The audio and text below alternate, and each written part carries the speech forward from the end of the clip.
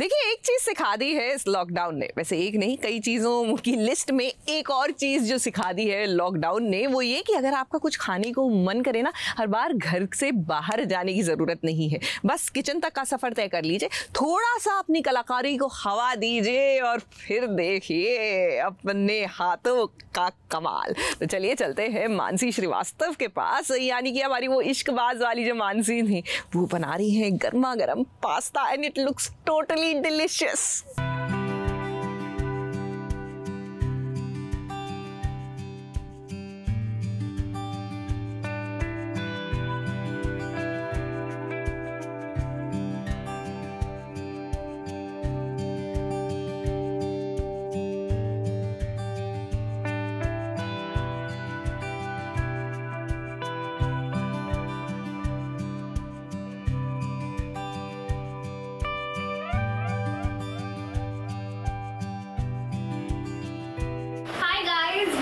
मैं श्रीवास्तव और आज मैं कुछ स्पेशल बनाने जा रही हूँ। क्वारंटाइन में खैर कुछ ना कुछ रोज ही बन ही रहा है बट कभी कभी सिंपल खा लेते हैं, दाल, चावल, सब्ज़ी और कभी कभी कुछ स्पेशल बना लेते हैं तो मैं आज वाइट सॉस पास्ता बनाने वाली हूँ। यहाँ पर पास्ता बॉईल कर रहे हैं और यहाँ पर मैं वेजिटेबल्स सॉटे करने वाली हूँ।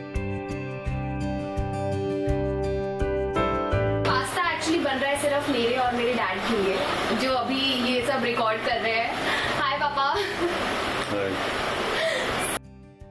एक्चुअली वाइट सॉस पास्ता में ज़्यादा वेजिटेबल्स की ज़रूरत नहीं है। आपके पास जो भी घर पे है उसका थोड़ा थोड़ा सब डाल सकते हो।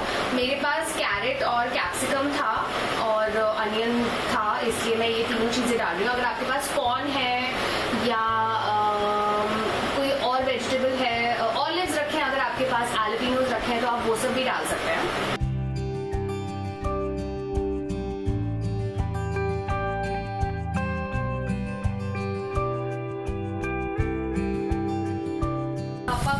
भूख लग रही है। अब मैं पापा से पूछती हूँ। पापा आपको वेट हो रही है ना? पास्ता की नौ साढ़े नौ बज गए हैं। आपको क्या लगता है मेरा पास्ता कैसा बनेगा? उम्मीद तो है अच्छा बनेगा। तो मैं अभी वेजिटेबल्स को सौते कर रही हूँ और इसके बाद हम बनाएँगे वाइट सॉस पास्ता के लिए। अब मैं बनाने वाली हूँ सॉस सो मुझे भी अभी पता चला है कि जो वाइट सॉस पास्ता में सॉस होती है, वो चीज़ की नहीं बनती है. कैन यू इमेजिन वो बनती है मैदे की. मतलब वो दूध में मैदा मिला होता है और उसकी वो वाइट सॉस बनती है. और अभी हम वही बनाने जा रहे हैं. इसमें हम दो स्पून बटर डालेंगे और जितना बटर डालेंगे, उतना ही हम मैदा डालेंगे. कितनी सारी नई चीज़ें सीख रहे हैं। एक्चुअली रोज कुछ ना कुछ नया मैं कुकिंग का सीखती हूँ।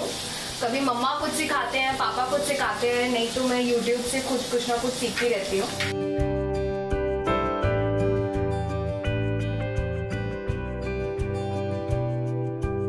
पास्ता भी मैंने थैंकफुली घर में बीट पास्ता पड़ा था तो मैंने वही यूज़ किया। So it's not technically junk food नहीं है बीट का ही बना है।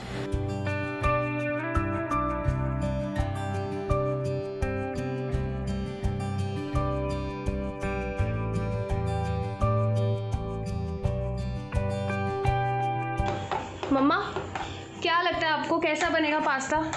बेटे तुम इतनी मेहनत कर रहे हो तो जैसे बहुत अच्छा बनेगा। अच्छा बनेगा? हाँ बिल्कुल सारी रेसिपीज़ बहुत अच्छी लग रही है। अच्छा मम्मा ने मेरा रवा डोसा तो खा ही लिया था। आई होप पास्ता भी खा ले वैसे वो बिल्कुल नहीं खाती हैं। बट मैं इतने प्यार से बना रही हूँ तो शायद हो सकता है कि वो खा ले। सॉस बन गई है और अब इसमें आप चिली फ्लेक्स ऐड कर सकते हैं सॉल्ट ऐड कर सकते हैं पेपर ऐड कर सकते हैं। सो अभी वाइट सॉस बन गई थी और मैंने उसमें फिर अपनी जो सौते वेजिटेबल्स हैं वो डाली पास्ता मिक्स किया। और अ, अच्छा लग रहा है इतना बुरा नहीं लग रहा है। अब मैं इसमें थोड़ा एक्स्ट्रा चीज़ी फ्लेवर देने के लिए मेरे पास एक चीज़ का ब्लॉक बचा हुआ था। थैंकफुली चीज़ ग्रेटर भी है तो मैं इसमें चीज़ थोड़ा ऊपर से ग्रेट करके डालूँगी।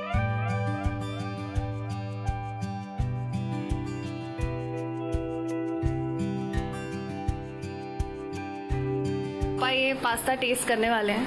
पापा गरम होगा। ठीक है, पास। बढ़िया। Thank you enjoy the pasta मुझे भी दो ना एक बाइट फ़र्स्ट टाइम के लिए इतना बुरा नहीं है। अच्छा है। नेक्स्ट टाइम मैं थोड़ा और सॉस की क्वांटिटी बढ़ाऊँगी या फिर पास्ता कम डालूँगी बट मुझे तो बहुत अ, मज़ा आया अपनी पहली पहली नहीं अपनी तीसरी चौथी क्वारंटाइन रेसिपी तैयार करी मैंने। तो मैं रोज नई नई चीज़ें बनाना सीख रही हूँ कुछ ना कुछ कर रही हूँ। मम्मी पापा को खिलाती रहती हूँ नई नई रेसिपीज़ सो गाइज़ आप लोग भी हम श्योर घर पे बैठे हैं बोर हो रहे हैं। कुछ ना कुछ नया ट्राई करते रहिए।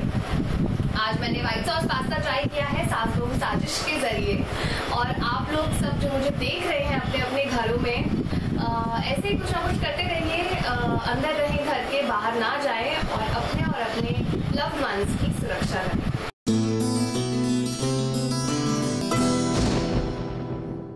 ये है एबीपी न्यूज़ आपको रखे आगे।